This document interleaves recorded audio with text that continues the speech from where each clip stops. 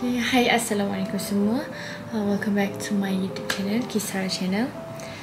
Jadi hari ini Seperti korang tahu kat tajuk Kaya akan buat satu video review Yang dah lama korang nantikan. Jadi video review ni tentang buku Siri Putera Dan bukannya Siri um, Candy. Um, Kaya akan buat tentang Siri Putera lah Yang paling baru lah K38 Okay, sebelum itu Ha, Kai nak minta maaf sebab Kai dah lama tak buat video. Kan Kai pindah Baru pindah hari tu kan? So Kai kena Study and focus back Dekat Pelajaran. Sebab nanti pun nak exam. Ni Kai pun ada ambil beberapa Subjek yang baru. Jadi Kai memang kena Study back lah. But untuk korang semua Kai akan buat satu video ini.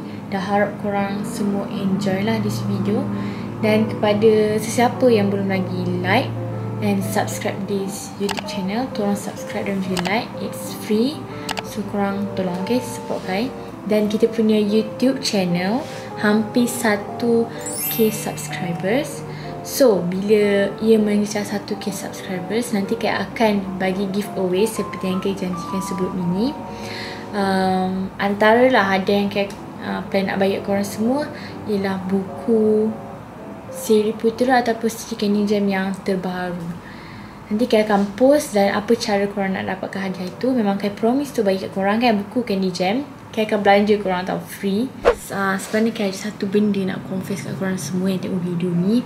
Sebenarnya like um, saya punya minat buku komik ni daripada dulu kan katakan suka Candy Jam kan berbanding Siri Putera but I think for now Kai lebih suka Siri Putera daripada Siri Candy maybe sebab Siri Putera ni mengisahkan pasal Putera kan. Dia bukan macam tentang kehidupan kita yang normal. Putera kan hebat kan kalau cakap pasal Putera hebat. Lepas tu maybe sebab Putera ni macam handsome that's why like Kai suka. But Siri Candy Jam pun Kai masih beli masih kumpul. Kai kumpul setakat ni Kai kumpul tiga, tiga siri daripada um, Gempak Stars.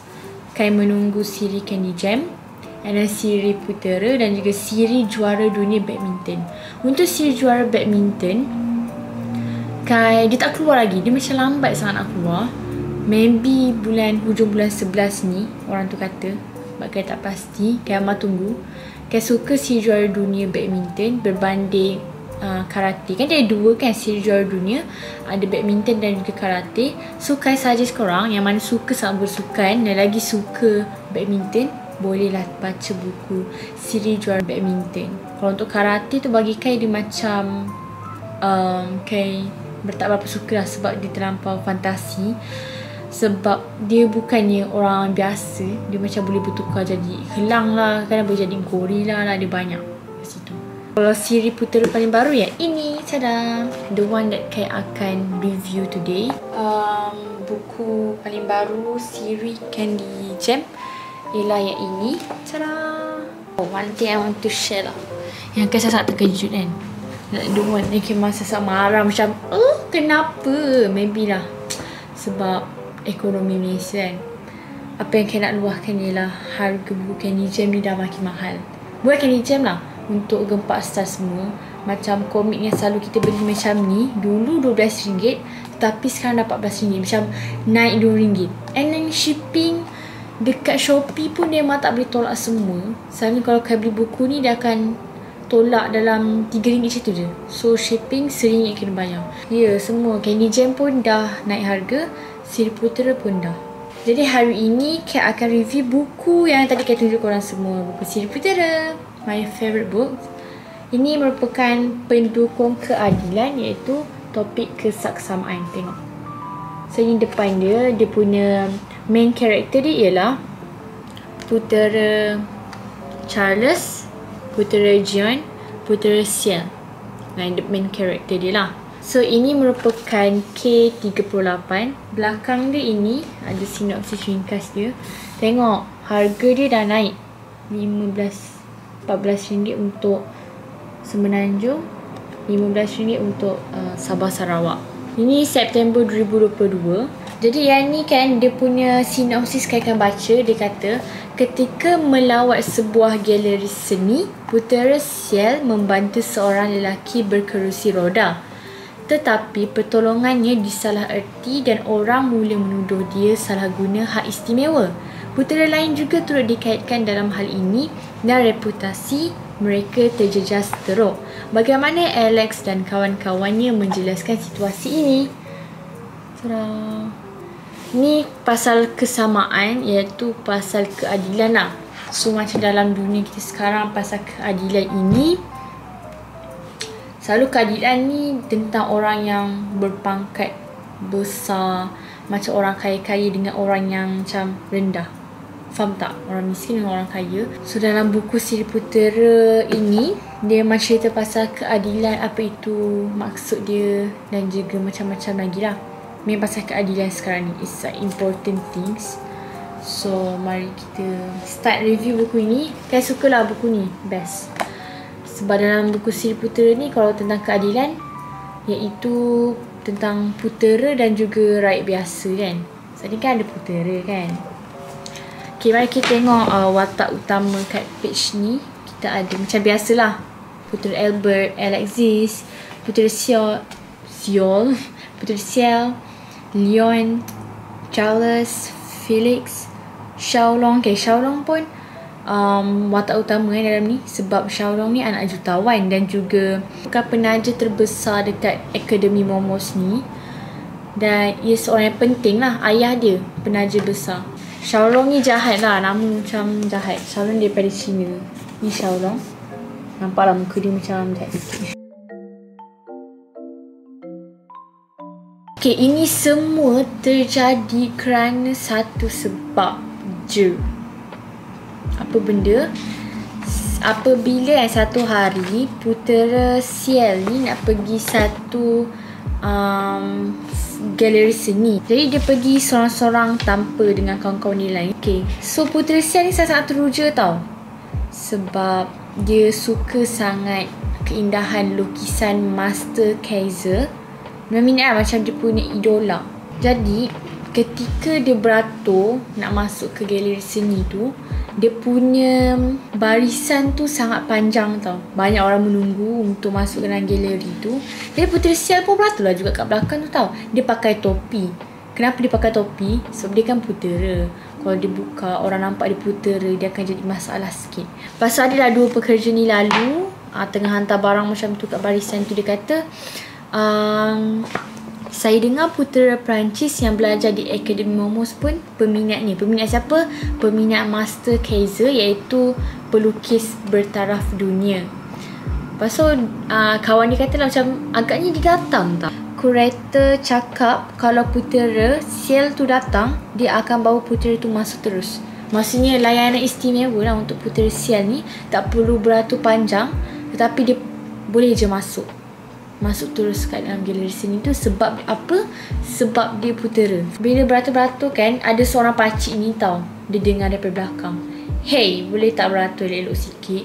Sekarang Puteri Sial tengok itu merupakan seorang pakcik ni yang berkerusi roda. Kira ni macam OKU lah. Dia pun minat dekat Master Kaiser ni. Dia nak tengok juga galeri seni tu. Bila kan nak masuk galeri seni tu ada tangga-tangga. Jadi dia tak boleh nak pergi tau. Tak boleh naik kena ada seorang yang kena angkat dia lah. So dia tak ada jalan dia naik kerusi roda. So susah nak naik tangga tu. Jadi bila barisan pun dah ke depan ke depan pakcik ni tertinggal kat belakang. Lepas tu orang kat belakang pakcik tu terus macam potong barisan pakcik tu. Dia Putri Sia nampak benda tu Putri Sia macam bersalah macam marah juga. Kenapa dua orang muda ni macam couple ni dia uh, potong barisan. Lepas tu boleh pula orang muda tu macam dia ni tak boleh naik tangga tak payahlah keluar rumah. Susah-susah je. Jahat betul lah. Pemuda ni masa sombong tau. Tak kisah pun. Tetapi putera sial yang baik hati ni tolong pakcik tu. Dia tolong angkat. Lepas tu dia macam hantar dia uh, ke depan.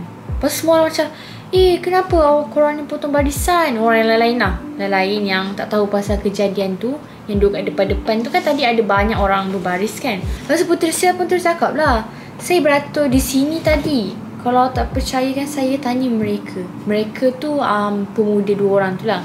Puteri saya bawa yang lelaki tadi tu. Lelaki pakcik yang naik kursi roda tu. Dia bawa pakcik dia naik kursi roda tu dekat tempat dia beratur tadi tu. Lepas tu semua pun macam uh, marah lah. Lepas tu bila bila pekerja dekat galeri seni tu dengar kekecah, kekecohan tu. Dia terus datang. Lepas tu Puteri Sia kan time tu tengah marah sangat semua orang. Kenapa semua orang tak pedulikan tentang pakcik yang OKU ni Dia bagi tahu dekat pekerja tu Pergi beritahu kurator yang saya Puteri Sia ada dekat sini. Pergilah tak ada orang boleh halang saya.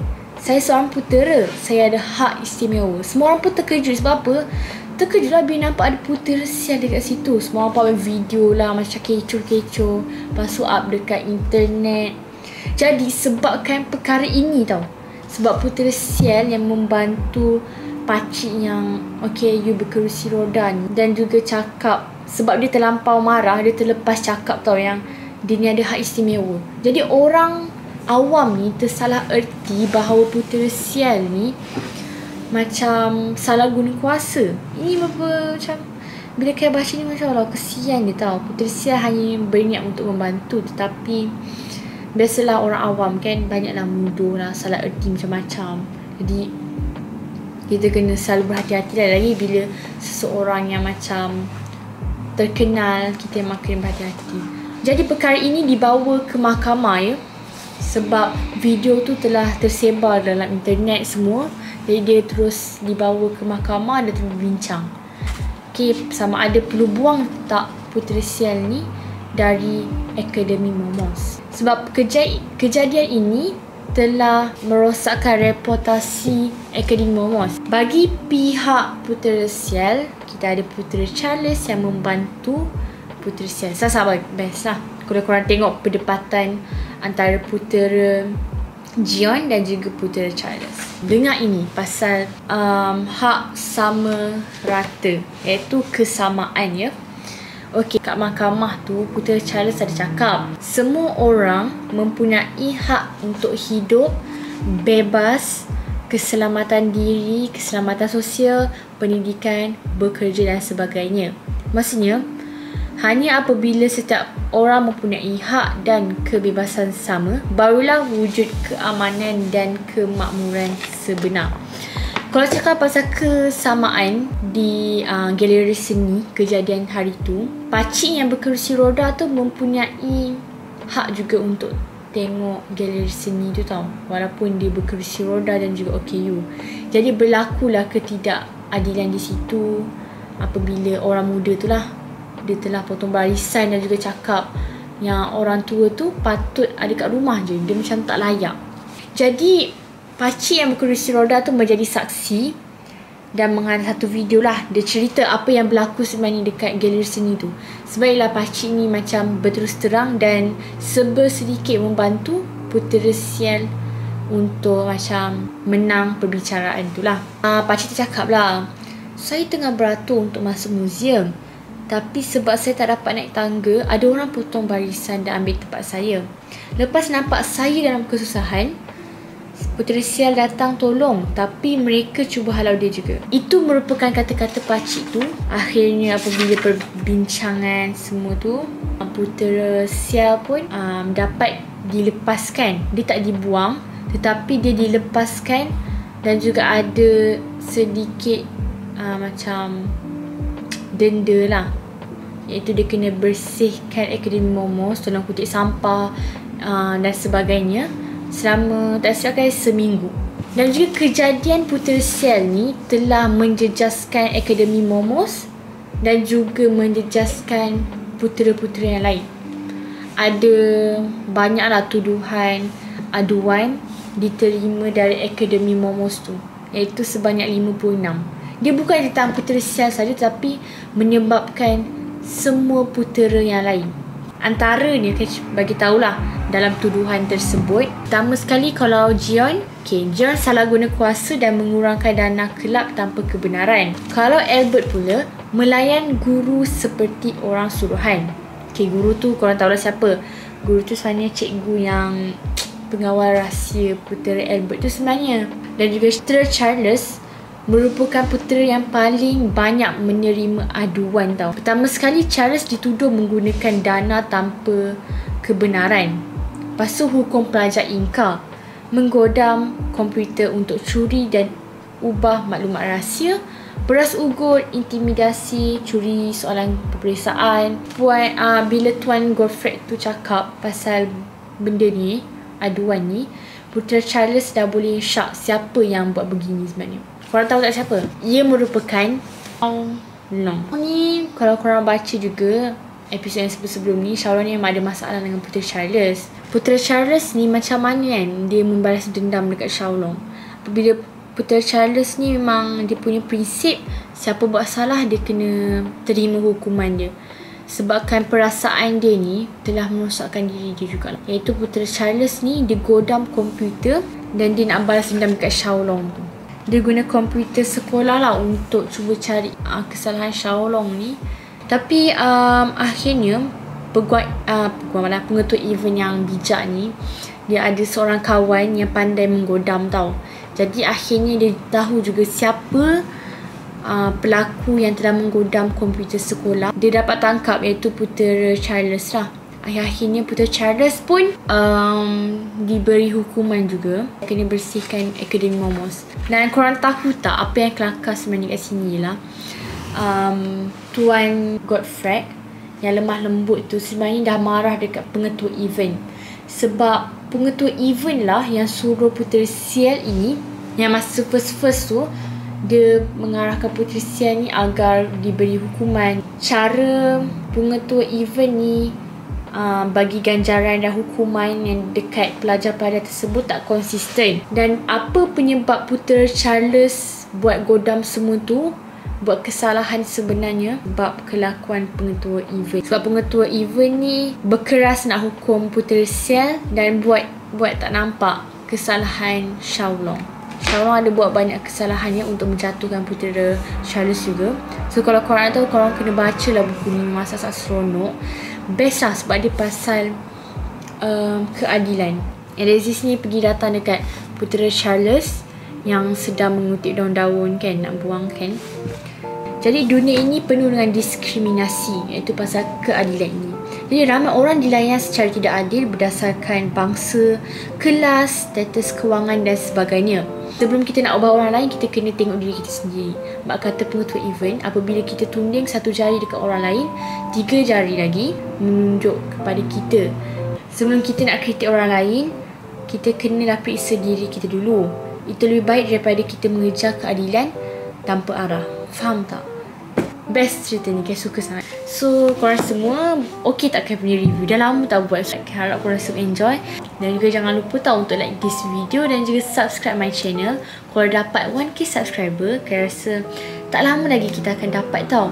Dan juga Kaya tak sabar Untuk share dekat korang semua Rezeki yang Kaya ada Kaya akan Bagi hadiah dekat korang semua. Contohnya macam Buku Candy Jam yang baru Dan juga Siri Putera yang baru Dekat korang semua. Korang semua mesti excited juga. So yeah itu saja untuk video kali ini. Uh, komen tahu dekat bawah apa-apa tentang video ni lah. Itu sahaja. Terima kasih kerana uh, sentiasa menunggu dan juga support Kai. Walaupun Kai dah lama tak buat video, Kai nak minta maaf sangat-sangat. Dan juga semoga korang faham lah apa yang Kai lalui sekarang. Macam-macam Kai kena hadap sebab benda baru, baru pindah dan sebagainya. Terima kasih dan juga semoga kita bertemu lagi di video akan datang. Bye-bye. Assalamualaikum. Terima kasih. Bye-bye.